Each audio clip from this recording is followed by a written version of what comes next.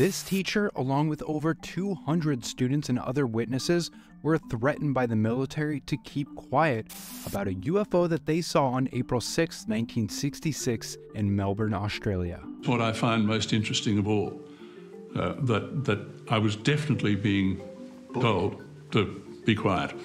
This mysterious incident that occurred at Westall High School in an ordinary suburb of Melbourne has continued to capture the public's imagination to this day. During midday recess, a cigar shaped grayish silver object appeared in the sky, hovering above the school for several minutes before disappearing into a nearby grassy area.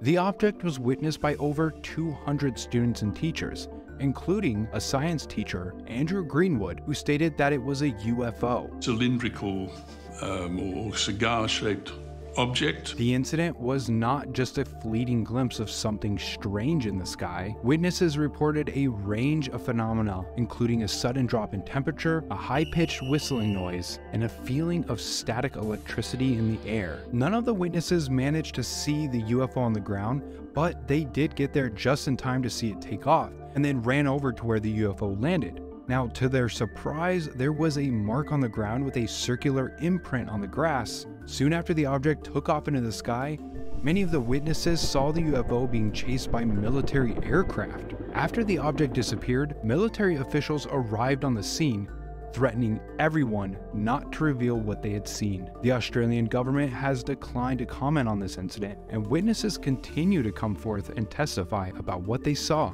The military's cover up has led many to believe that the UFO was of alien origin.